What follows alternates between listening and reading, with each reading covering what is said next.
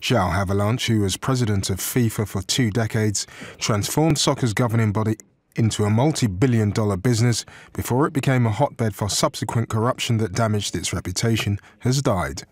The Samaritano Hospital in Rio de Janeiro confirmed his death early on Tuesday while the city was hosting the Olympic Games.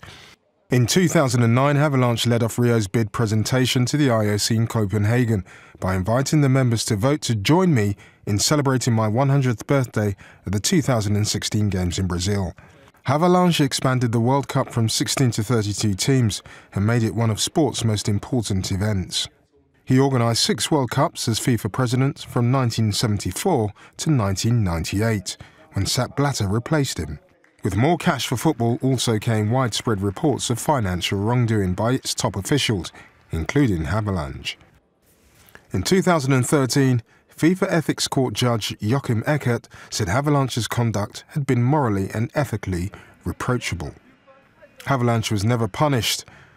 The Brazilian flag was lowered to half-mast at the Olympic venues in memory of the 100-year-old who was suffering from a respiratory infection.